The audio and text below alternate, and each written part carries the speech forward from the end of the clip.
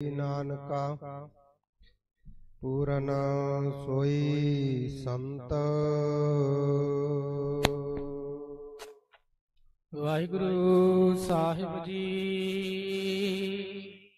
ਤੇਲੰਗ ਮਹੱਲਾ ਪਹਿਲਾ, ਘਰ ਤੀਜਾ ਇੱਕ ਓੰਕਾਰ ਸਤਿਗੁਰ ਪ੍ਰਸਾਦ।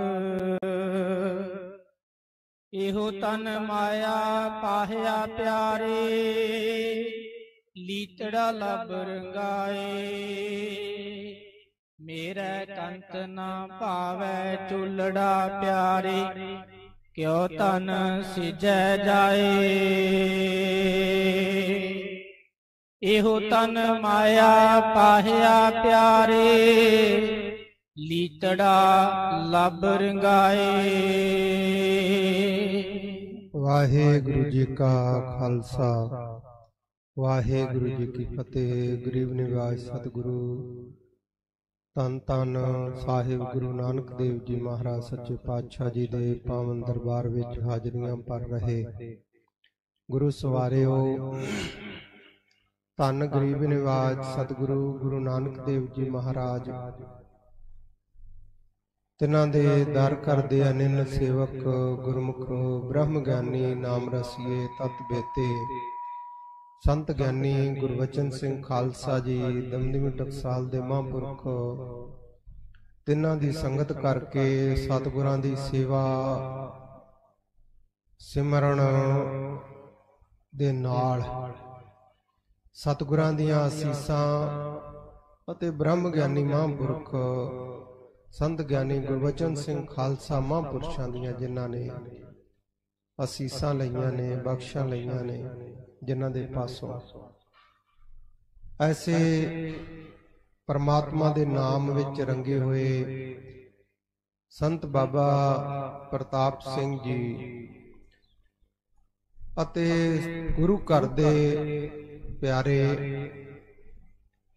ਚੜ੍ਹਦੀ ਕਲਾ ਦੇ ਨਾਲ ਰਹਿਤ ਬਹਿਤ ਵਿੱਚ ਪ੍ਰਪੱਕ ਹੋ ਕੇ ਭਾਵਨਾ ਨਾਲ ਸੇਵਾ ਕਰਨ ਵਾਲੇ ਭਾਈ ਸਾਹਿਬ, ਭਾਈ ਵੀਰ ਸਿੰਘ ਜੀ।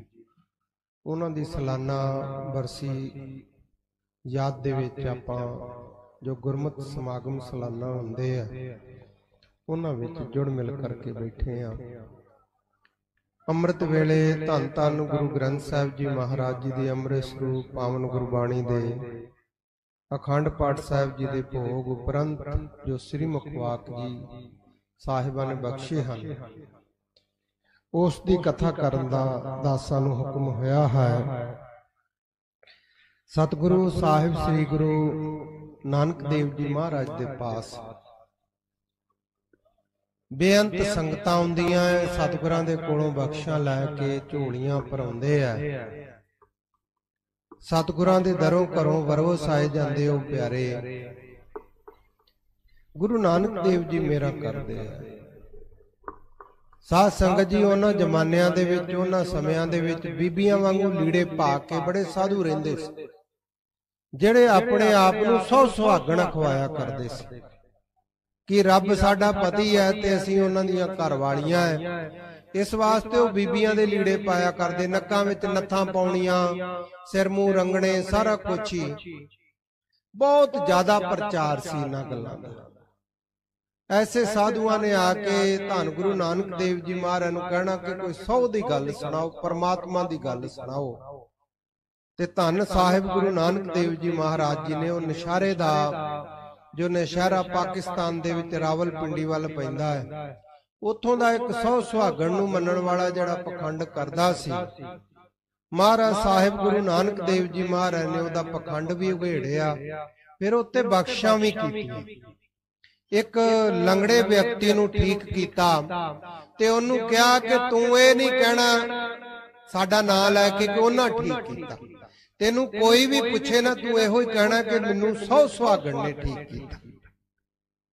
ਤੇ ਧੰਨ ਗੁਰੂ ਨਾਨਕ ਦੇਵ ਜੀ ਮਹਾਰਾਜ ਨੇ ਜਦੋਂ ਇਸ ਤਰ੍ਹਾਂ ਉਸ ਨੂੰ ਕਿਹਾ ਤੇ ਉਹ ਜੇ ਕੋਈ ਵੀ ਪੁੱਛੇ ਤੇਰਾ ਲੰਗ ਕਿਦਾਂ ਠੀਕ ਹੋਇਆ ਤੇਰੀ ਲੱਤ ਕਿਦਾਂ ਠੀਕ ਹੋਈ ਉਹ ਇਹੋ ਕਹੇ ਮੈਨੂੰ ਸੌ ਸੁਹਾਗਣ ਨੇ ਠੀਕ ਕੀਤਾ। ਜਦੋਂ ਉਹਦੇ ਪਾਸ ਉਹ ਪਹੁੰਚਿਆ ਉਹਨੇ ਕਿਹਾ ਸੱਚੋ ਸੱਚ ਦੱਸ ਸੌ ਸੁਹਾਗਣ ਤੇ ਮੈਂ ਆ। ਕੁਝ ਸਾਲ ਪਹਿਲਾਂ ਧੰਨ ਗੁਰੂ ਨਾਨਕ ਦੇਵ ਜੀ ਆਏ ਮੇਰੇ ਕੋਲ ਮੈਨੂੰ ਬਖਸ਼ਾ ਕਰਨ ਮੈਂ ਉਹਨਾਂ ਦੇ ਸ਼ਰਣੀ ਨਹੀਂ ਪਿਆ। ਤੇ ਉਦੋਂ ਮੇਰਾ ਪਖੰਡ ਜ਼ਾਹਰ ਹੋ ਗਿਆ। ਮੇਰੀ ਬੜੀ ਬਦਨਾਮੀ ਹੋਈ। ਮੈਂ ਤੇ ਤੈਨੂੰ ਠੀਕ ਨਹੀਂ ਕੀਤਾ ਦੱਸ ਕਿਨੇ ਠੀਕ ਕੀਤਾ? ਤਾਂ ਉਹ ਕਹਿਣ ਲੱਗਾ ਭਾਈ ਮੈਂ ਦੱਸ ਨਹੀਂ ਸਕਦਾ ਨਾਂ ਉਹਦਾ। ਮੈਨੂੰ ਹੁਕਮ ਹੈ ਕਿ ਸਾਡਾ ਨਾਂ ਨਹੀਂ ਲੈਣਾ ਉਹ ਕਹਿੰਦੇ ਆ। ਪਰ ਮੈਂ ਤੈਨੂੰ ਉੱਥੇ ਲਿਜਾ ਸਕਦਾ। ਫਿਰ ਉਹ ਜਿਹੜਾ ਸੌ ਸੁਹਾਗਣ ਪਹਿਲਾਂ ਸੀ ਨਾ ਪਖੰਡੀ। ਜਿਹੜਾ ਹੁਣ ਦਿਨ ਰਾਤ ਪਛਤਾਉਂਦਾ ਸੀ ਮੈਂ ਉਹਨਾਂ ਦੇ ਦਰਸ਼ਨ ਗੁਰੂ ਨਾਨਕ ਦੇਵ ਜੀ ਦੇ ਕਿਉਂ ਨਹੀਂ ਕੀਤੇ? ਜਿਹੜਾ ਸੱਚਾ ਪਰਮਾਤਮਾ ਦੇ ਚਰਨਾਂ ਵਿੱਚ ਜੁੜਿਆ ਸੀ ਉਹਨੂੰ ਲੈ ਕੇ ਗੁਰੂ ਨਾਨਕ ਦੇਵ ਜੀ ਮਹਾਰਾਜ ਪਾਸ ਪਹੁੰਚਿਆ। ਤਾਂ ਮਹਾਰਾਜ ਗੁਰੂ ਨਾਨਕ ਪਾਤਸ਼ਾਹ ਜੀ ਨੇ ਉਪਦੇਸ਼ ਦੇ ਕੇ ਉਹਨੂੰ ਨਿਹਾਲ ਕੀਤਾ। ਉਹਨੂੰ ਕਿਹਾ ਸਾਦਾ ਲਿਬਾਸ ਪਹਿਨ। ਗੁਰੂ ਪਰਮਾਤਮਾ ਦੀ ਵਡਿਆਈ ਕਰਿਆ ਕਰ ਇਹ ਪਖੰਡ ਨਾ ਕਰਿਆ ਕਰ। ਬਾਹਰਲੇ ਕੱਪੜੇ ਜਿਹੜੇ ਆ ਨਾ ਇਹ ਪਖੰਡ ਜਿਹੜਾ ਇਹ ਪਰਮਾਤਮਾ ਨੂੰ ਮਿਲਣ ਨਹੀਂ ਦਿੰਦਾ। ਧੰਨ ਗੁਰੂ ਨਾਨਕ ਦੇਵ ਜੀ ਨੇ ਜਿਵੇਂ ਕਿਰਪਾ ਕੀਤੀ। ਉਹ ਪਾਵਨ ਸ੍ਰੀ ਮੁਖਵਾਕ ਮਹਾਰਾਜ ਜੀ ਨੇ ਅੰਮ੍ਰਿਤ ਵੇਲੇ ਸਾਨੂੰ ਬਖਸ਼ੇ ਹੈ। ਆਓ ਪਿਆਰ ਨਾਲ ਸਰਵਣ ਕਰੀਏ। ਜਿੰਨੀ ਸੰਗਤ ਬੈਠੇ ਹੋ ਸਾਰੇ ਪਿਆਰ ਨਾਲ ਗੱਜ ਕੇ ਬੁਲਾਓ। ਸਤਨਾਮ। ਸ੍ਰੀ ਵਾਹਿਗੁਰੂ ਸਾਹਿਬ ਜੀ। ਤਿਲੰਗ ਮਹੱਲਾ ਪਹਿਲਾ। ਘਰ ਤੀਜਾ।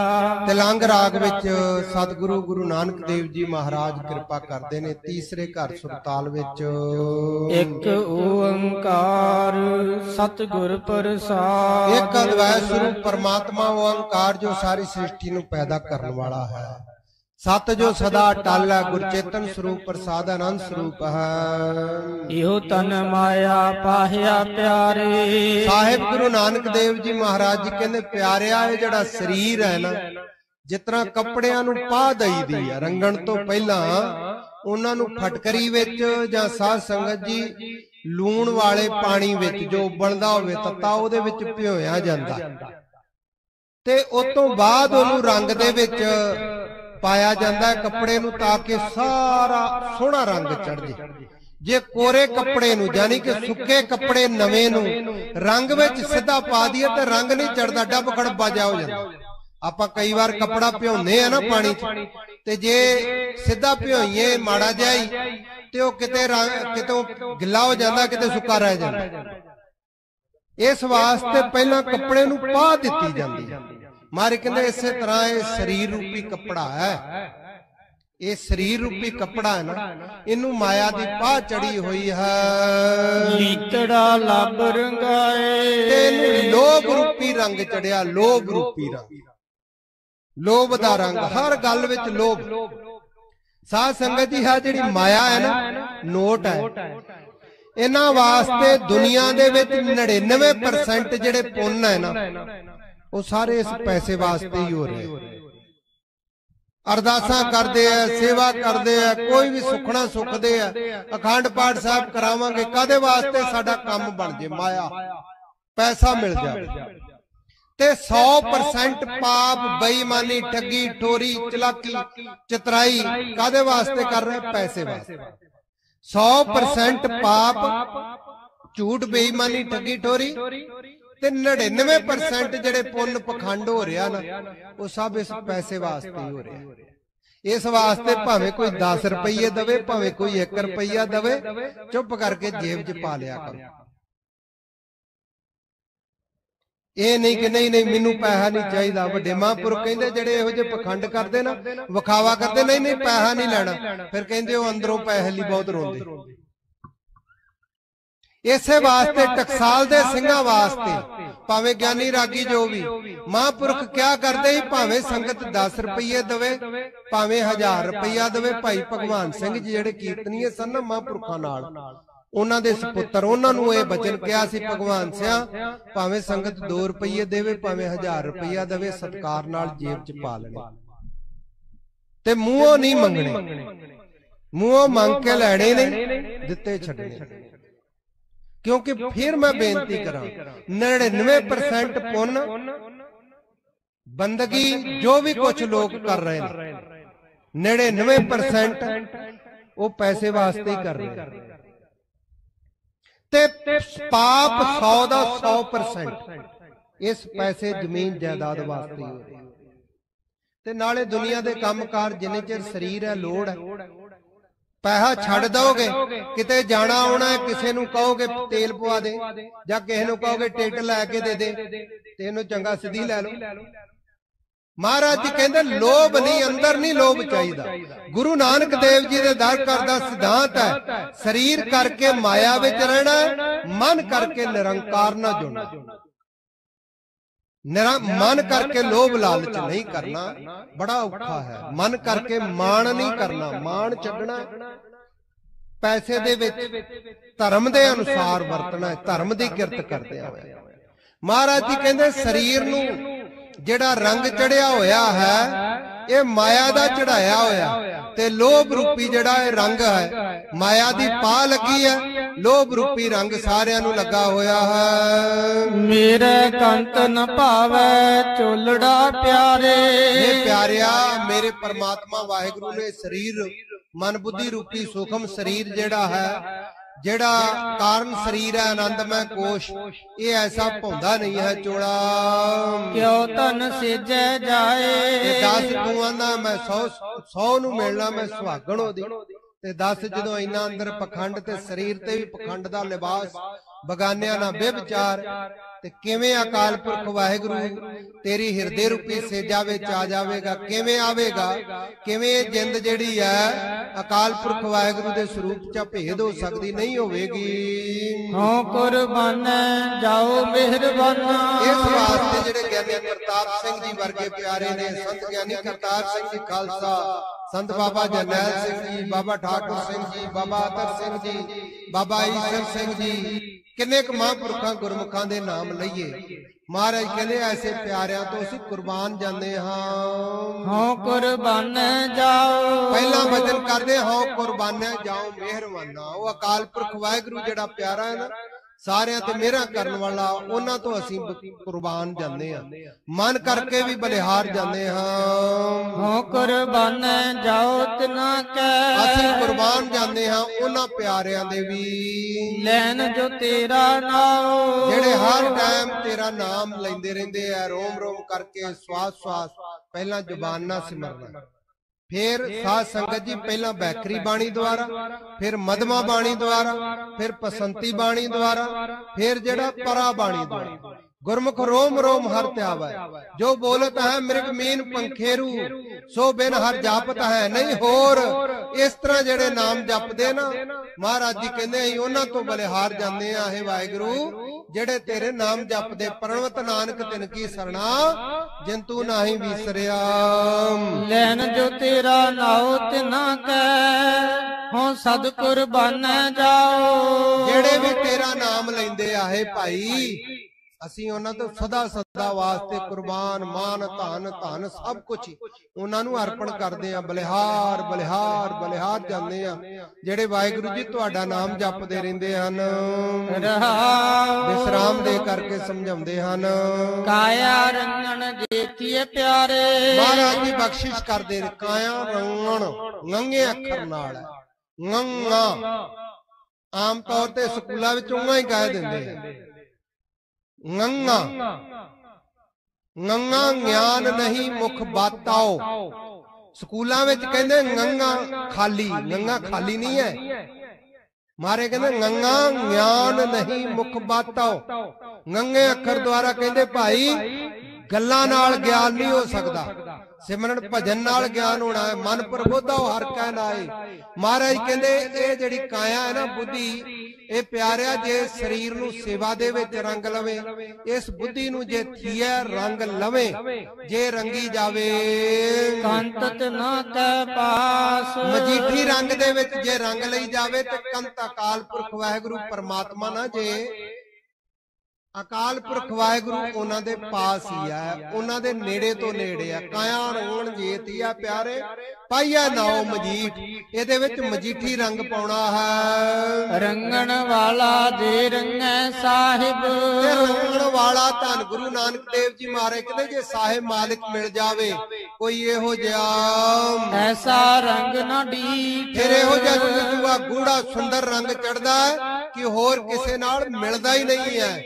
ਕੋਈ ਬਰਾਬਰੀ ਕਰ ਹੀ ਨਹੀਂ ਸਕਦਾ ਉਹਨਾਂ ਦੀ।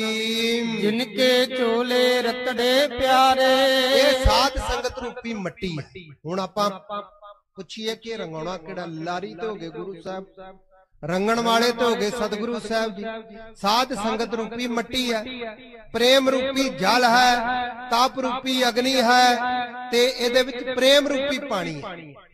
ਇਹਦੇ ਵਿੱਚ ਪ੍ਰੇਮ ਰੂਪੀ ਪਾਣੀ ਦੇ ਵਿੱਚ ਇਹ ਰੰਗ ਘੋਲ ਕੇ ਨਾਮ ਰੂਪੀ ਤੇ ਸਾਧ ਸੰਗਤ ਜੀ ਜੇ ਚਾੜਿਆ ਜਾਵੇ ਨਾ ਇਹਨੂੰ ਪ੍ਰੇਮ ਭੈ ਦੀ ਭਾਵਨਾ ਦੀ ਪਾ ਚਾੜਨੀ ਪਹਿਲਾਂ ਮਨ ਨੂੰ।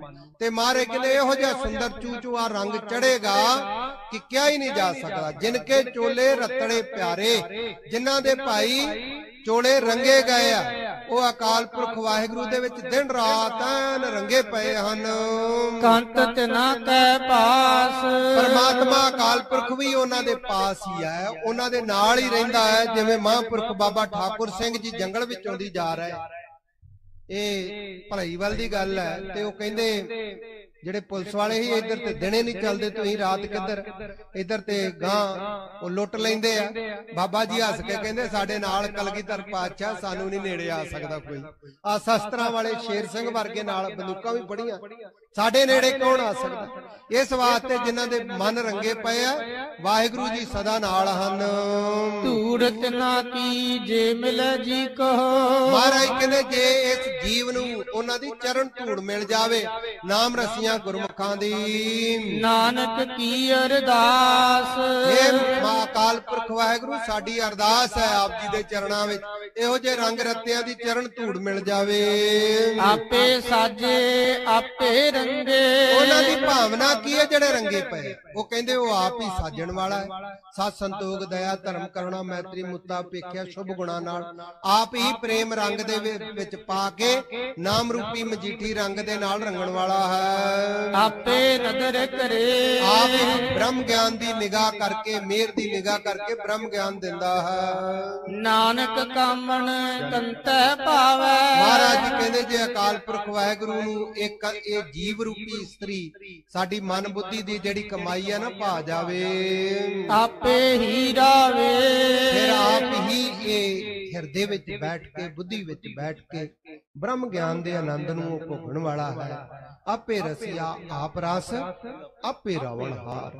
ਐਸੇ ਨਾਮ ਰਸੀਏ ਗੁਰਮੁਖ ਪਿਆਰਿਆਂ ਦੀ ਯਾਦ ਵਿੱਚ ਆਪਾਂ ਸਾਰੇ ਬੈਠੇ ਆ ਸਤਿਗੁਰੂ ਜੀ ਚੜ੍ਹਦੀ ਕਲਾ ਕਰਨ, ਦਾਸ ਪਾਸੋਂ ਪਿਛਲੇ ਦਿਨਾਂ ਤੋਂ ਕਥਾ ਕਰਦਿਆਂ ਹੋਇਆ।